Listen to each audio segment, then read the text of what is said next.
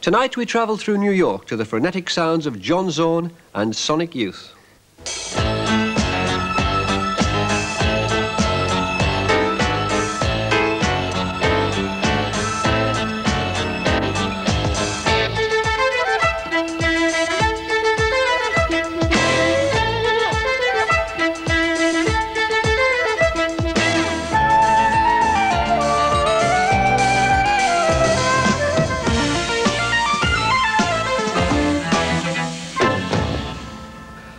New York, still one of the richest arts communities in the world, a multi-ethnic cauldron of musical styles, and an internationally renowned showcase for the arts in general. In many ways, the esteem associated with success in New York has been strengthened by the increasing odds against achieving it. For the past 50 years, the city has been the home of many highly influential musicians and musical genres. John Cage in the 40s, Ornette Coleman, Miles Davis and Charlie Parker in the 50s. In the 60s, Folk City provided the first performance venue for folk artists like Bob Dylan and Joan Baez, while Max's Kansas City was housing the Velvet Underground. In the 70s, the New York Dolls, Ramones, Patti Smith and Television, and later Blondie and Talking Heads. In the 80s, it's difficult to identify any particular rock avant-garde sound likely to develop into a major movement, as the scene is so fragmented it almost defies definition. Yet from this environment come musicians who, influenced by diverse musical styles, have developed an individual sound and emerged as influential New York artists. Tonight, Put Blood in the Music, a film by New York director Charles Atlas, features John Zorn and the band Sonic Youth. Both Zorn and Sonic Youth are currently riding high. The film, very much a New York artifact, looks at how living in New York influences the music these artists make. You may think that its style and pace reflect the frenetic quality and the self-consciousness of that music and of the city itself. Loud, violent, non-stop energy. Love it. Couldn't live without it.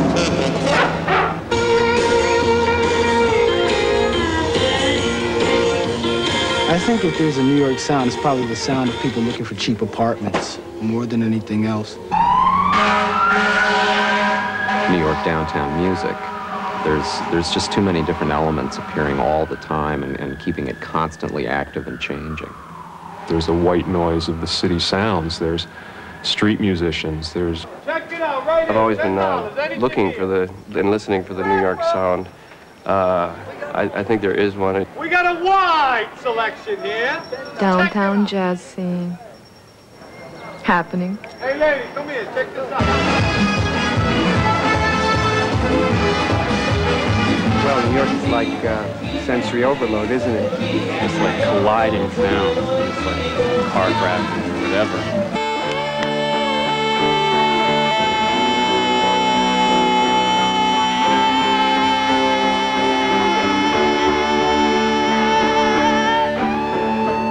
energy and anger and angularity and tension and excitement and frenetic quality and drive.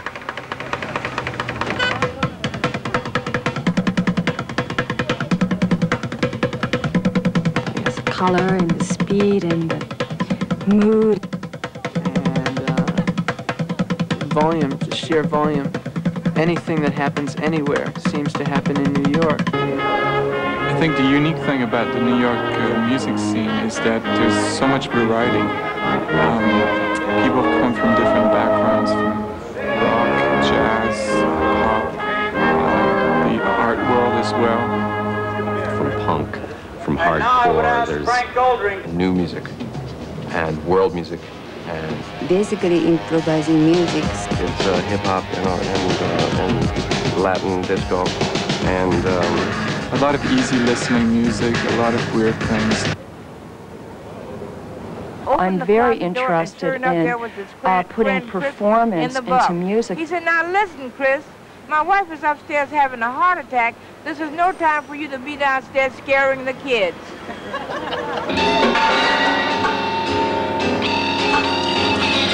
New York Underground.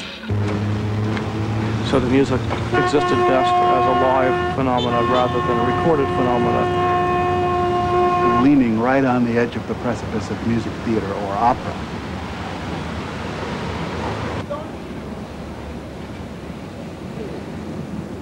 You walk two blocks in any direction and you're in a different scene. You're in a different neighborhood.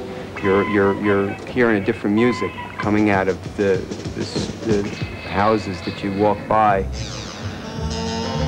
No doubt in route, you're going to come across between 10 and 15, possibly minorities, although of course I'm not racist or sexist. And they're going to try to get your attention by screaming obscenities at you, which you'll usually then throw a few back of your own, causing possible physical bodily harm to the individual, usually a small white girl. You can walk through the village and you've got jazz clubs, you know, the music coming out of one door. You can go down another door and there's a folk uh, trio singing away in there. Go over to CBGB's and the doors are falling off because somebody's raising a ruckus in there.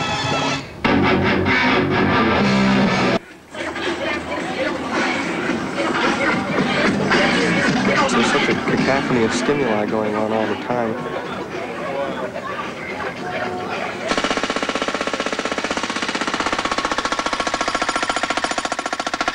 This music seems to epitomize a kind of uh, extremes of emotionality and of dynamic level, uh, rigidity and formal energy, and um, the drama of living in a city in which so many different cultures and so many different people are crowded in upon one another influence, influencing each other and uh, exciting each other. Over the past uh, year, I've had a fixation on thrash metal. Uh, sound of people uh, bombarded by media overload. More like dance and funk oriented uh, music. This Brazilian rhythm with the violin. It's extremely difficult to find a place where you can make noise. Very much more of expressionist rock.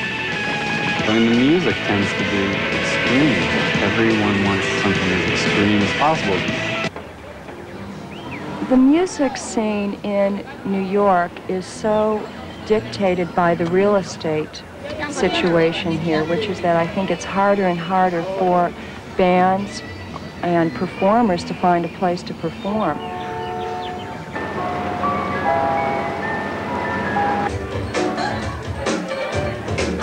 Saying that uh, anything can be music, and it's like, well, how about this, if anything can be music? Music was a side product of what we were doing, which was expressing anger, frustration, and hatred. No, uh, as far as the intensity of the city, I don't know. Just like I In the area of experimental music and in the self-conscious interchange between artists and popular musicians, the downtown New York scene is really uh, unique in the United States. Sometimes it's so unique that it produces music that the other parts of the United States find downright weird. Bugs Bunny music. The kind of a trance-based uh, music.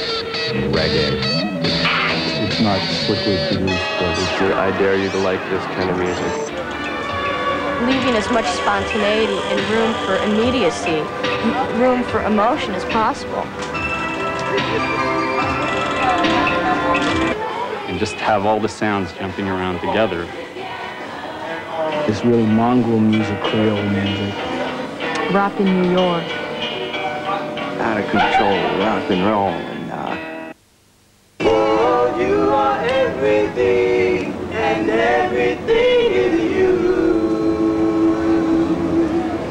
The money that I need to pay the rent and the willingness to take risks. I mean, sort of put the blood in the music. Um, it, it influences me because it is a filthy place and people consider me a filthy artist.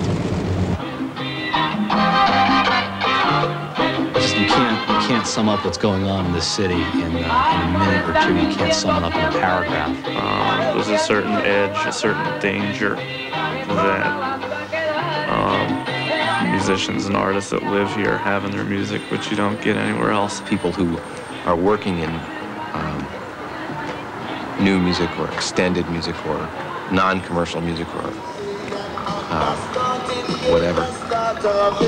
And so I find that whatever my, uh, my, my musical Jones is at any particular time, I can find it on some street.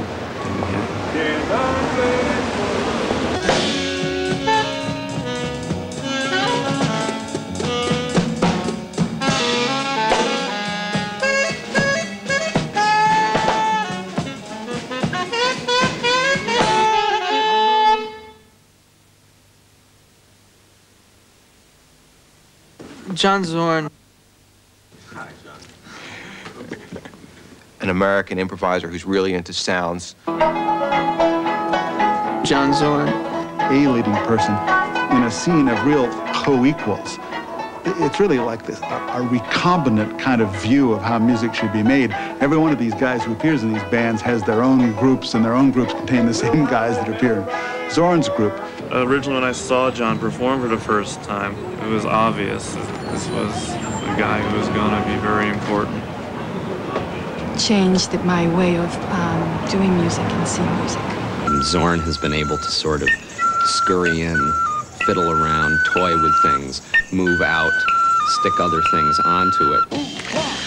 Yeah, John's a musician to me, and um, his music is really music that can only really come from New York. He's taken elements from, from Eastern cultures as well as the great American tradition of jazz and blended with more experimental avant-garde modes as well, which has brought to fruition a very, very diversified kind of sound. There's as much variety in his little pinky than in most of the musicians that I know. When I first saw John Zorn live, He was a master musician, woodwind, a saxophone player, and also incorporated a kind of uh, insanity into the music. um, I just couldn't believe what I saw. He's got a gift for taking, creating literally an orchestra out of so much different material and so many different musicians. It's sort of like a, you know, kind of a Leonard Bernstein, you know, downtown type. As John Zorn, for instance, who wakes up with music and falls asleep with music.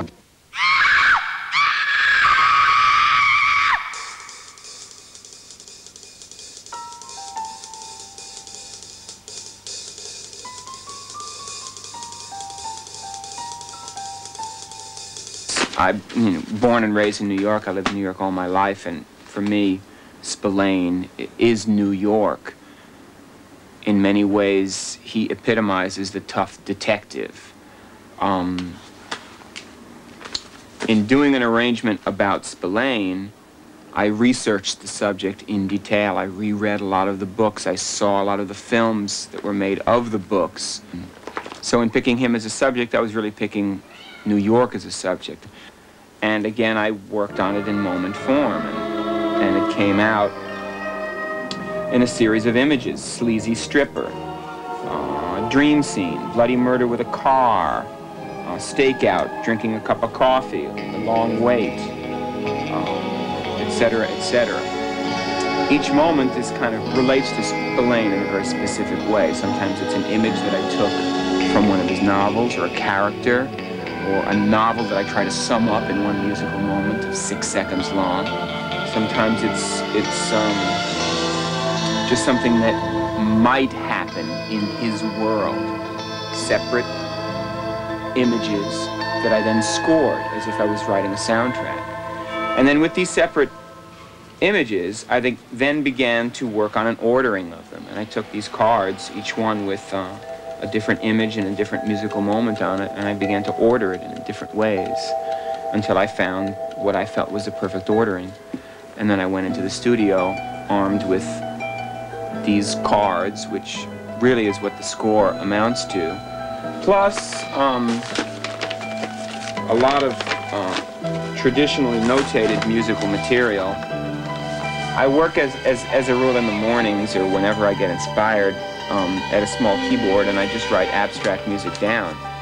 Um, sometimes I'll put a, a mood to it, like if one fe- uh, feels mysterious or romantic or whatever. And later, when I was working on, on the Spillane uh, file cards, I'd go through it and find a section that I'd think, hmm, this should have actual written notation for it.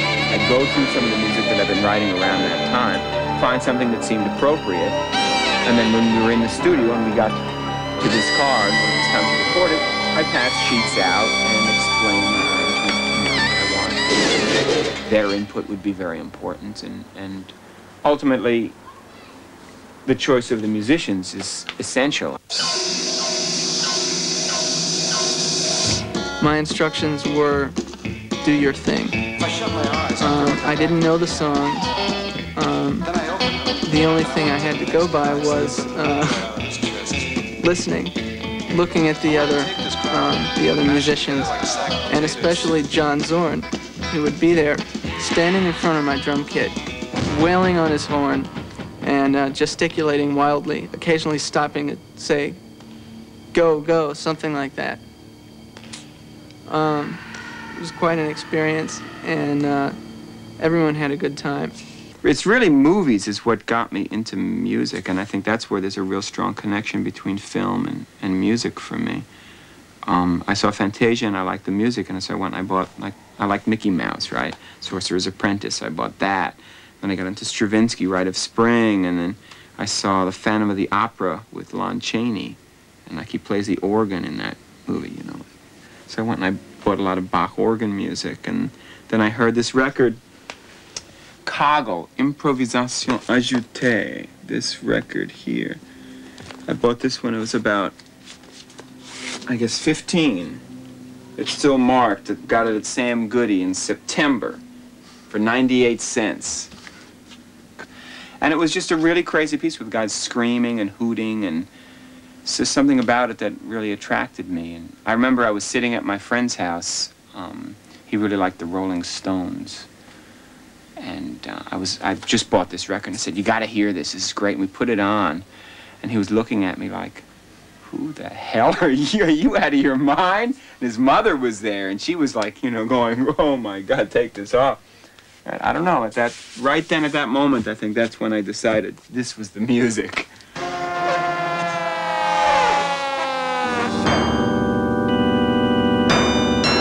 Not so much that it's music for film, but it, it's uh, based on our visual culture, on, on, on watching TV and filmed, and, and being used to uh, having everything ed- edited in a, a very fast manner.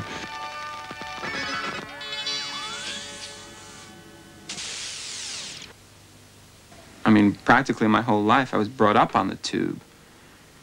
My mother used to put me in a laundry basket in front of test patterns to shut me up when I was a kid. So the, the television is a really important part of my life, and cartoons obviously are strong. In terms of cartoon music, I think really the most interesting, most revolutionary work was done um, in the late 30s and 40s by Warner Brothers in the Bugs Bunny and Daffy Duck cartoons that we know so well.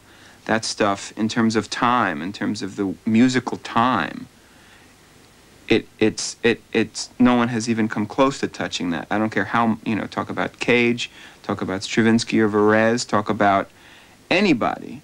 No one has dealt with time the way Carl Stalling dealt with it because he was dealing with an image and trying to sync the music up to an image. You take the image away and you're listening to something that doesn't make musical sense. It doesn't have a development the way that other music has development. So it's, it's a very, very special thing that remained in my, in my mind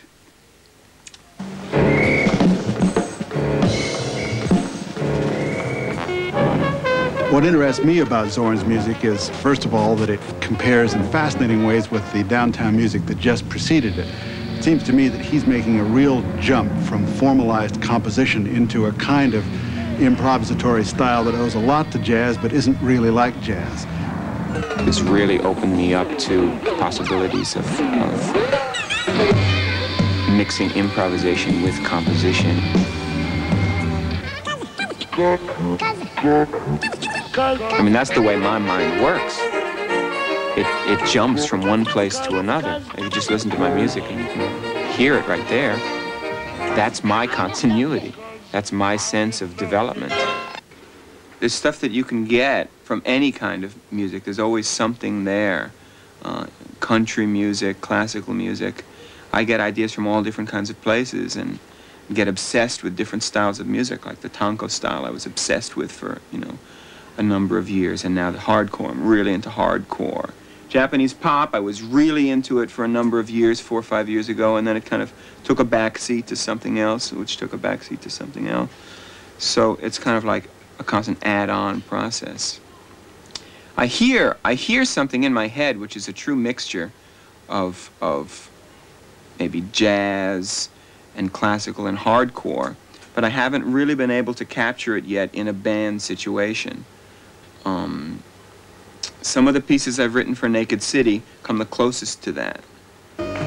Some of the things that are striking about Zorn's music he shares with rock and jazz. In other words, with rock, the sheer impact that amplification can provide, even for a relatively small group.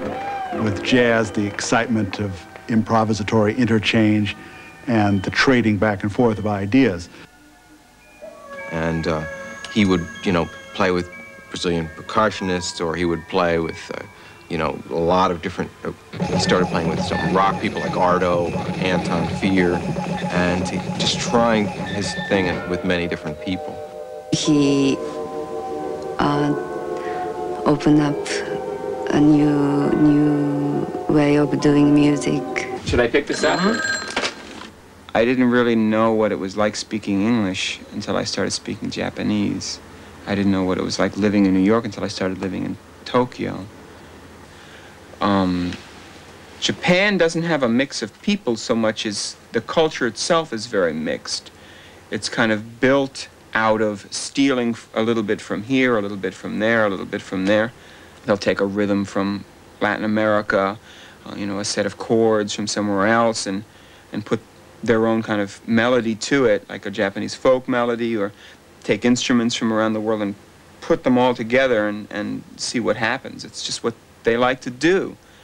And it's what I like to do in my music too, so that there's a real connection. I feel very comfortable there. I feel like I'm home when I'm there. Like, hey dude, what's happening? Yo man, he can say that in Japanese. When I played in Japan, I'd get booked in some little club or something, and I'd show up with my saxophone, and they'd be pissed. They'd think, hey, well, where are the duck calls? Where Zorn and duck calls? Come on. You know, he uses the duck calls. He, you know, he's into improvised jazz. You know, the other night he was playing in the band doing the music of Ornette Coleman with Tim Berne. Well, let's try it from the tempo that, that's counted. Okay. Faster than that. I can't play faster. No, no, no. So either can wait. Don't worry about it. Ornette's music um, was really inspiration, inspirational to me from when I first started playing the saxophone. I've been playing his tunes and practicing them at home, you know, for a long time, 15 years. But eventually, over the years, I, through different interests, just moved further and further away from that kind of straight ahead, what you might say straight ahead, uh, uh, free bop interpretation of, of Ornette's stuff towards something that's a little more abrasive, a little more shocking, something that I think is a little more akin to maybe the way people first experienced Ornette back in the late 50s, because it really was a shock. I think there's going to be a lot of people who hear our Ornette project and say the same thing. What the fuck are these guys doing? This is, this is an insult. But we really love Ornette's music, and you know we feel we're paying tribute to it.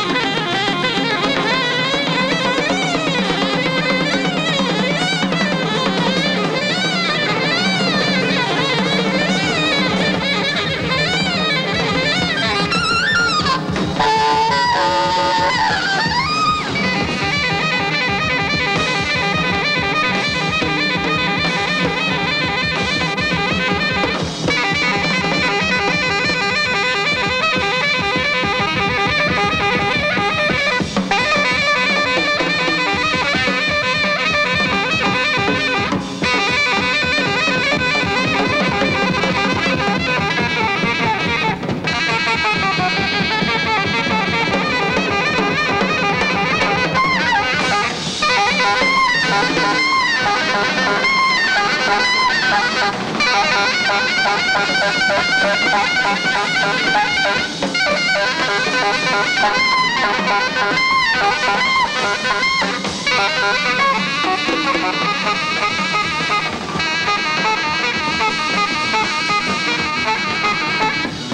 I guess I'm trying to approach ornette stuff in an acoustic hardcore kind of way, with a lot of polyphonic improvisation, everybody soloing at the same time or playing together, to interpret it.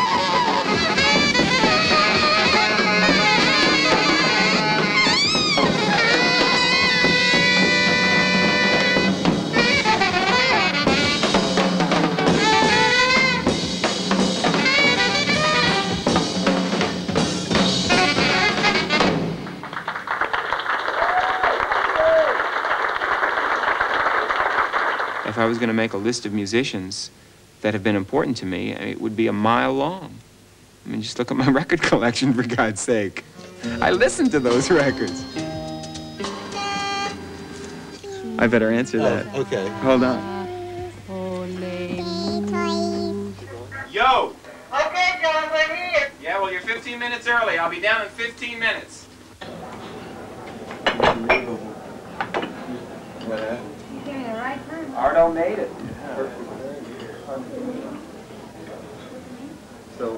Yes. The whole future direction of Zorn is, to me, a real open question.